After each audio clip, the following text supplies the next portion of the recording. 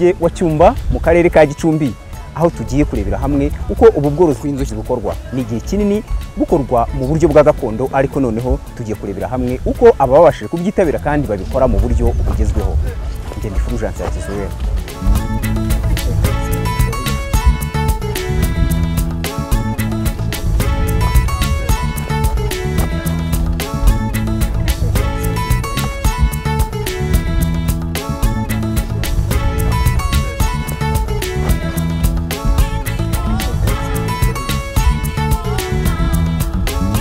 ndi kwitegura ngo twinjire mu ruvumvu noneho turebe uko inzuki zimeze n'uburyo bwo gutangira gusarura.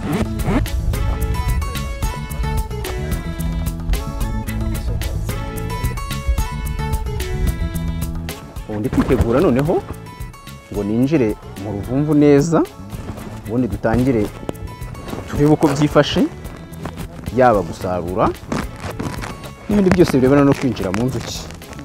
Niyo mpamvu ndimo nitegura kuko ntabwo wapfa kujyamo bisanzwe ntabwo bikiri nka mbere.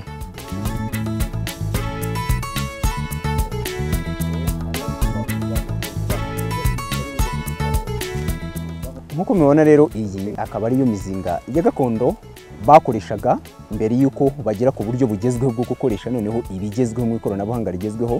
Mbere batangiriye kuri iyi mizinga ya gakondo ariko baragenda batera imbere kuko bamaze kugera noneho ku mizinga igezweho noneho babikoresha mu buryo bw'ikoranabuhanga atari ibi bya gakondo. Byari bifite ingaruka nyinshi turakomeza tubabwira dufashe urugendo twerekeza mu ruvumvu ngo dutangire igikorwa nyirizina cyo gusura inzuki no kureba umusaruro wazo. Ubu tugiye gusura umuzinga tugiye kureba niba twahakura ariko mbere y'uko twinjira mu ruvumvu kugira ngo inzuki ntizitukurikire cyangwa se tuzijyana mu bandi tubanza tukazengurusa uruvumvu n'umwotsi tukagenda hariho tukagenda uruvumvu hose tukazengurusa umwotsi kugira ngo ntizirenge wa mwotsi igihe tumaze gusura za nzuki.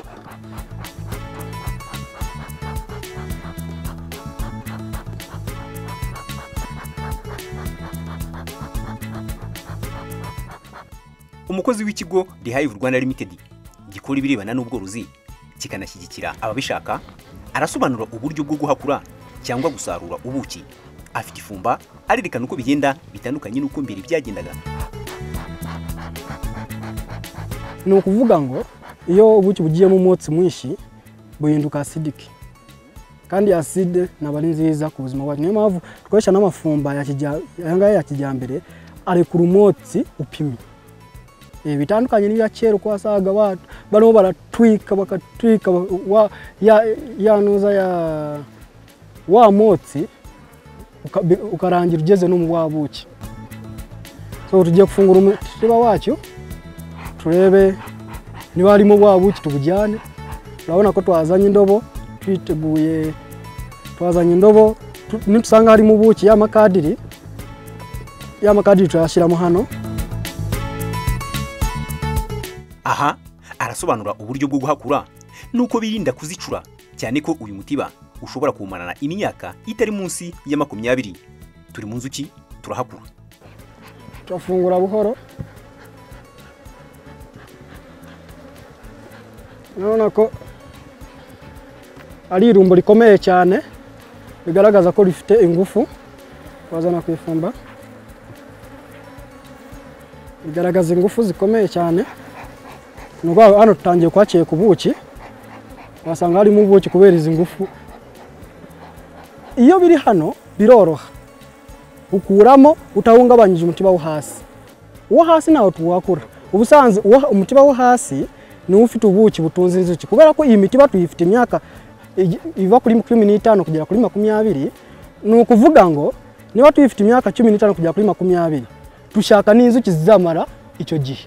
Uhakuye umutiba wose n'uwo hasi ukawuhakura zizashonza mu guhakura kumwe cyangwa se mu mwaka umwe za nzuki zigende.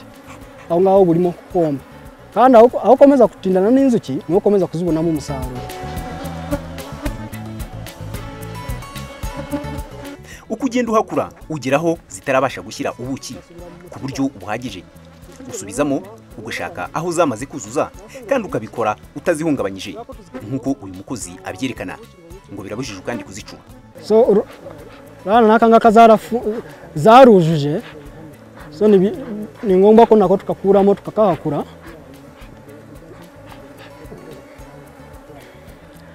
Katu- katukomeze turebe na n'akandi so urabona nk'aka ngaka ntawe ziruzuza aka ntawe ziruzuza ni ukuvuga ngo iyo usanze zitaruzuza biba ari byiza ukakasubizamo zikakomerezaho zikarinda zikuzuza.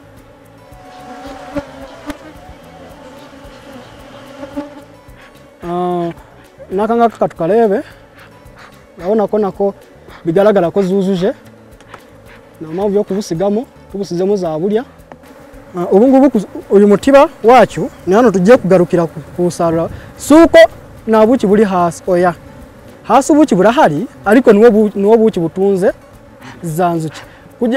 Uzicyuze bwa buki icya mbere zizasonza. Nizisonza amahirwe menshi niko zizagenda. Niyo zitagenda wa musaruro wawe uzagabanuka. Kubera iki? Kubera ko uburyo zibyara n'uburyo ziyongera buragabanuka. Ubusanzwe ahantu hose hari inzara ahantu hose hari inzara n'impfu ziba nyinshi. Iyo ubucyuze bya biryo nyinshi zirapfa n'umusaruro wawe uragabanuka. Niyo mpamvu tuzisigiramo ibi biryo ubuki buri hasi akaba buzitunga twe tukazakomeza tugaruka tuhakura uyu mutiba wo hejuru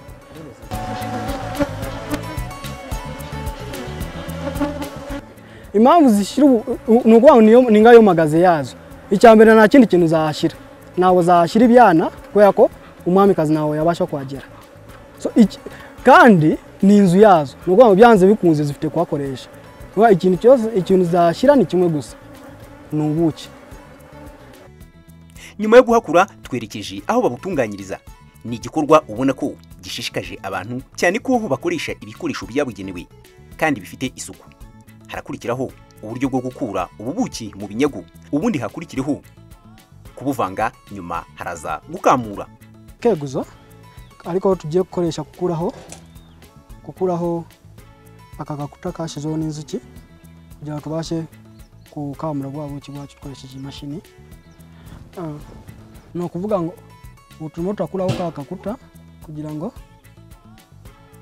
tubashe gushyira mu imashini ikamuremo bwa buki bwacho itangije bishashara nyaula urabona ko hano buki bufunguse imyenge ya hano irafunguse ni ukuvuga ngo iyo ukuriyeho hejuru hano ukuraho ka kaka ka kakuta konyine katafite katagendeyeho na bwa buki.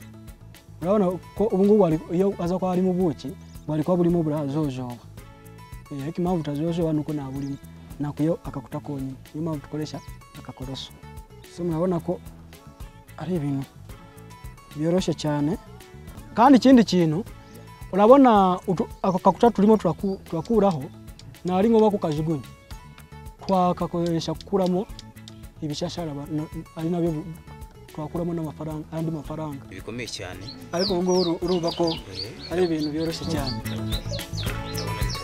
ngombwa ngo umareho burundu burundu? Ubufunze bwose Eh. ure- kafunze? Nta mpamvu yo Eh, ugenda ufungura ndafungura dufunze gusa Ah, ngubu aka ngaka twarangije aka kari tayari tugiye kukashyira mu mu imashini. Urabona ko batangiye no kujojoba. Kubera iki twafunguye ya myenge. Tugiye gushyira mu mashini tuwuhakure dukuremo bwa buki Tu- tuta- tutarinze twangiza bya bishashara. Nyuma rero yo kurangiza guhakura no gutunganya mu gikorwa cyo gupfundura kugira ngo ubuki bubashe kuvamo ubu noneho hakurikiyeho igikorwa cyo gukamura kugira ngo ubuki nyirizina noneho bubashe gutandukana n'ibinyago.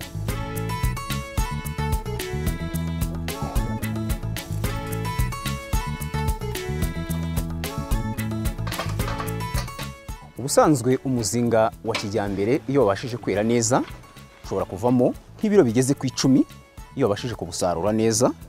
Ariko kubera ko ubu bagiye bakuramo buke hari aho bagiye babusiga hari n'aho zitari zakarangije gushyiramo ubuki hari hakibura gatoya bivuze ngo ubu bashobora kutageza ku icumi. Ariko ubusanzwe iyo wabashije kwera neza ibiro icumi bashobora kubikuramo muri umuzinga wa kijyambere. Ubu mu kanya ubuki buramaze kubukuramo neza nibwamara guca muri iyi mashini igezweho bifashisha bari kubutunganya. Nyuma yo kuvanga cyangwa gusya harakurikiraho gukamura kandi mu buryo bwiza bukoreshejwe imashini. Uyu mutekinisiye arasobanura neza uko bitandukanye na mbere kuko bikoranwa isuku. Bakagerageza bishoboka gukuramo utunyagu twaba twivanzemo ku buryo usanga ari nk'uruganda. Mbese buvamo babwohereza ku isoko? Bitandukanye na mbere kuko ho bwanashoboraga kunyanyagirika no kwangirika. Ubu tugiye gufungura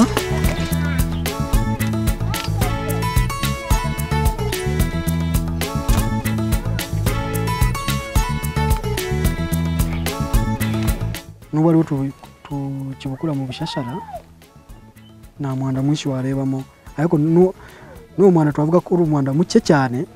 Naho tuwukisha mu kayunguruzo ku buryo twabona ubuki bw'umwimerere bufite isuku kandi ari ubuki bwiza cyane. Nanone ko nta bintu by'umukara nga bya bintu twabonaga muri bwa buki bwa mbere bwa buki bwa gakondo aho wasangaga kubera, kwa gutwika wasangaga huzuyemo utunuza tw'umukara tw'ibyatsi bya- byaba byajyanye n'ubuki. Ubu ngubu ntabwo ari ubuki bwiza cyane ariko ubu ngubu urabona ko ari ubuki bwiza ni umushongi mwiza cyane. Urebe nta n'ubu ari inzira ndende.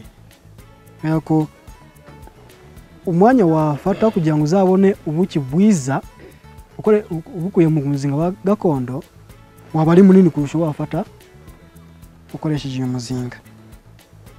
Urabona ko hano uhita ubona ubuki muri direct nk'uko tugiye kure ubuki bwiza cyane.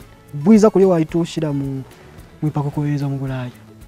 E, wanguko tujje kubuleeba mukanya obukiye mukayunguruzo n'amaavuza okukiisha mu luganda ife tumuzingu ufite uruganda wakura hano ujyana mbere abantu batakazaga ubuki bwinshi cyane muri butandukanye ubwagereraga mu bishashara ubwagereraga hehe. Ugasanga aho kugira ngo asarure ibiro aho kugira ngo asarure ibiro icumi asarura ibiro bitanu bibiri. Ubundi buki butakariye mu buryo bwinshi butandukanye butateguwe ariko hano niba uri busarure ubuki ibiro icumi uri busarure icumi urabubona? Urabona ko bujya gucamo nta mwana na gato. Ariko naho tumva bitahagije. Tubukisha mu kandi kayunguruzo. Na wa mwanda muke cyane waba usigaye nawo wabasha guca muri aka kayunguruzo. Mm. urabona umushongi wacu ubuki wa kinyarwanda. That's very nice. Mm, u- ubu turebe na hano no mu kandi kayunguruzo. Eh, kararemereye urabona ko buba bumeze hasi. Urabona ubuki bucamo hariya wabugeze buba bugeze ku rwego rwo kujya rwo- kujya hanze cyangwa se ariho hose. Urabona ko nta mwanda na gato igihe kuki- guca muri aka kayunguruzo ka kabiri nta mwanda wabonamo habe na gato. Uba umaze kubona ubuki nyabo kandi ubuki bwiza cyane.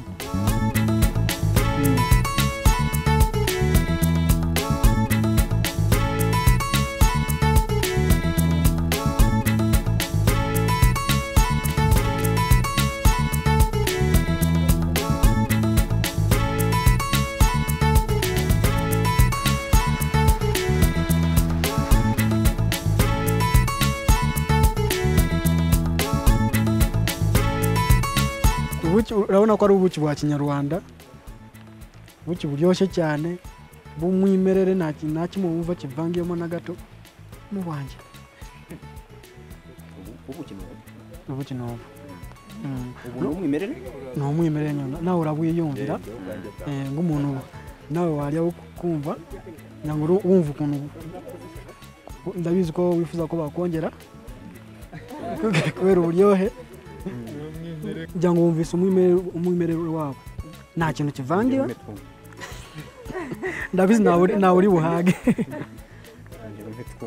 Kugira ngo kandi urabona ko ufite isuku ubu wajyana ku isoko nta kindi kintu. Urabona ko na- niyo mpamvu nakubwiraga ngo iyo ufite imizinga iyi mizinga uba ufite iki?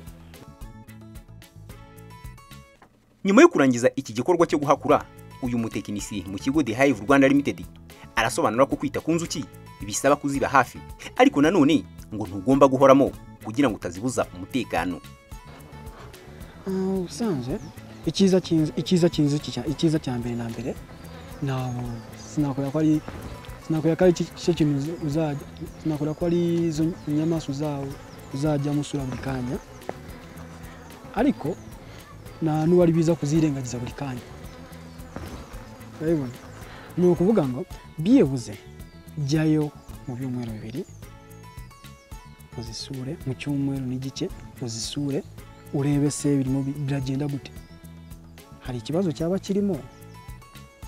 Hari ese hari amagome yaba arimo?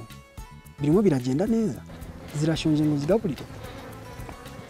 Ibyo byose biba bikenewe mu, mu kwita mu- bworozi bw'inzuki. No kuzime- no kuzimenyereza.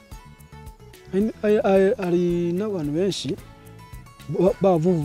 babihinduye umwuga hari n'igihe cyagiye yaba afite nk'umwanya akaza akicara hafi y'uruvumvuru inzuki zikamuca ku ruhande zikamumenyera. Nazo twavuga ko zorora zigira ngaho zikamenyera umuntu Mm, ariko inzuki bari biza kuzitaho kuzisura ubwo atari byiza kuva uyu munsi ejo ukagisubirayo kubera ko uba umeze nk'umuntu uhungabanya umutekano wazo. Ariko byibuze icyumweru kimwe n'igice wajyayo ukareba uko bihagaze. Ngo hari uburyo bwo kugaburira inzuki ntizicwe n'inzara. Ngo bibe byaziviramo kurya ubuki maze ubure umusaruro nubwo zigira aho zishyira ubwazo. Hari impamvu yatuma zidatara harimo nk'imvura. Icyo gihe rero ngo uzishakira ibyo zirya kandi zigakomeza akazi. Icya mbere bazigaburira ryari? Iyo zishonje zisonza ryari mu gihe cy'imvura urabona mu gihe cy'imvura inzuki ntabwo zikunda gusohoka cyane mu gihe cy'imvura kubera bwa bukonje bwinshi. Kandi iyo zidasohotse nta n'uwo zabasha gutara za ndabyo. Ntawe zabasha gutara bwa buki ziri cyangwa se n'insinda zabo ntawe zabasha kubitara. Ubwo muri icyo gihe za nzuki zirasonza uko bigenze iyo usanze uko wabonye imizinga yacu ukuntu iteye biroroshye kuzisura ukareba n'ikibazo cyaba kirimo. So, iyo urebye iyo iyo ukuriye kadiri ugasanga nta buki burimo byanze bikunze ziba zishonje. Ni nka cya gihe bazi iwawe bakareba mu gikoni bagasanga nta n'igitoki kirimo bakareba mu- kabati ugasanga nta n'ifu y'akawunga irimo byanze bikunze umuryango wawe uba ushonje. Nawe icyo cyose urebyemo ugasanga nta kintu kirimo izo nzuki ziba zishonje kandi iyo zishonje zigabanya ziragabanuka. Ukuntu bigenza ari- wafata dufite ubu- ubusahane bwazo iwacu ubwo bazigaburiramo. Iyo wafata ubuki buke ukabuvanga n'amazi uvangamo amazi make kugira ngo ntube concentrate cyane. Ubu buki ukagenda izo sahane zacyo zijyanye n'iki? Zijyanye n'umuzinga. Ugenda ugashyira mu muzinga za nzuki ugashyiramo n'utwatsi duke uh, aho inzuki zahagarara za nzuki zikazakora iki? Zikazaza ziriya kuri bwa buki. Mm. nyuma y'igihe gito uraza ukare- ukarebamo niba zabimaze ukas- ugashyiramo ubundi ariko nusanga zatangiye gutara ubwazo aha ngaho aho ngaho ziba zitagishonje